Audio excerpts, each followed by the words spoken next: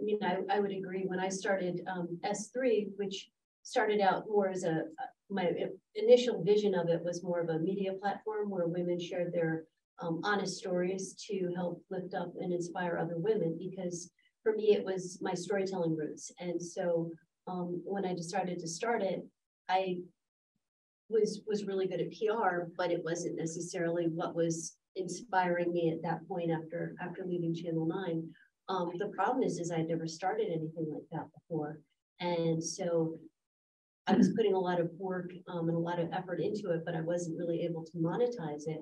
And I remember talking to a lot of people, and I guess this would be, you know, something that I would recommend is, at least in my personal journey, um, people will give you all sorts of different advice, but I find it very helpful to to just talk to people. So if there's, you know, if Amy's around, I might want to talk through a problem with Amy and, and get her input. But it's okay to be honest. It's okay to say I don't have all the answers.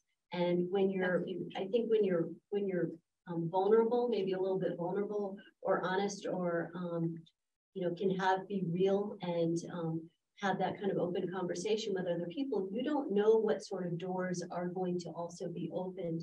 So I remember talking to someone in the community about S3 and my dreams for it.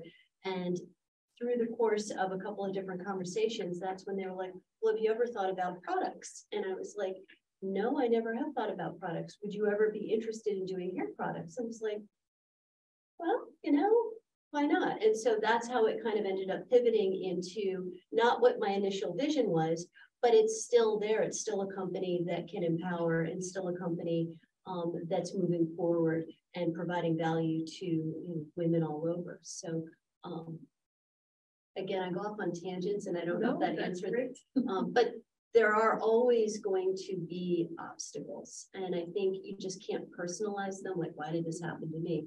obstacles throw themselves in front of everybody. They're very tricky like that.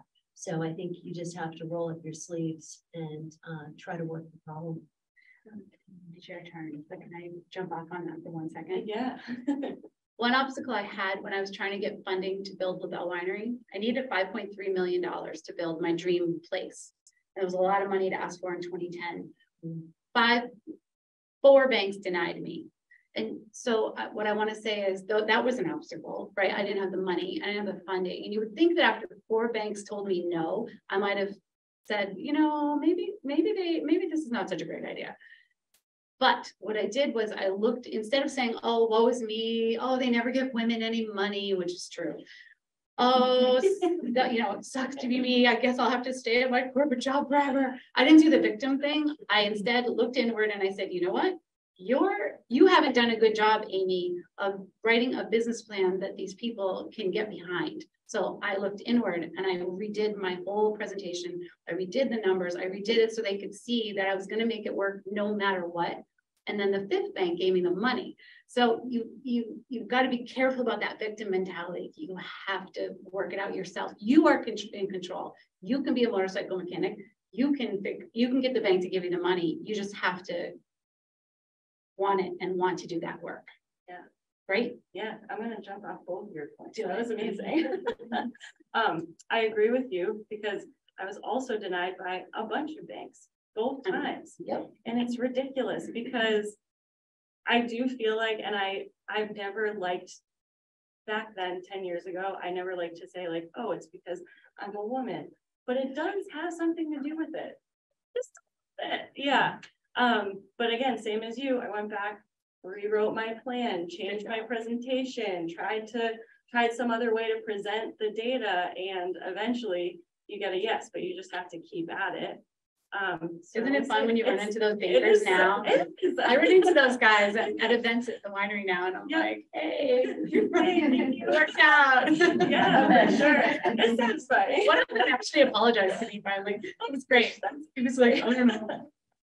I love that. Yeah. And then to your point, I've always, I, I mean, we face so many obstacles, but I've, I've always um, recognized that I don't know everything. And I've always asked other people for help. So I've called lawyers, accountants, my dad, my uncles, my cousins, like whoever is around, my husband, like my sisters who are also entrepreneurs. Like I, it's just really important to surround yourself with people who are in the, you know, interested in, like you said at the beginning, lifting each other up and helping each other out because we're, you know, we're kind of all in this entrepreneur life together and we have to support each other. So